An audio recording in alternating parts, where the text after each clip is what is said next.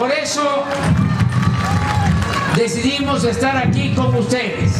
Ya el licenciado Valle habló de que se trata de 40 productos que van a ayudar mucho a la gente que vive en las comunidades, en los pueblos, en las colonias marginadas, pobres de México.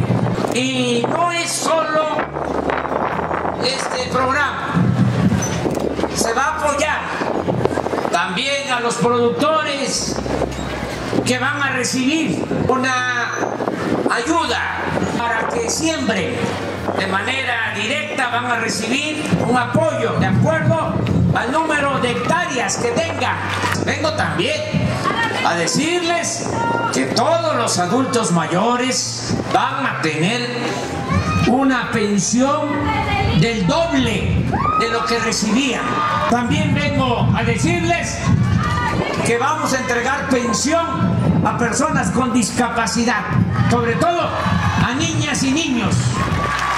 Van a recibir también su pensión de 2.550 pesos cada dos meses. Todos los jóvenes de Cedral, de San Luis Potosí, que no tengan empleo, van a ser contratados.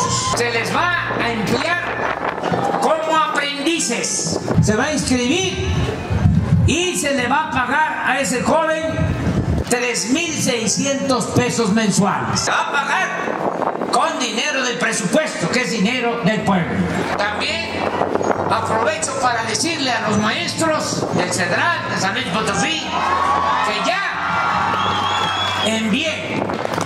a la Constitución para cancelar la mal llamada reforma educativa.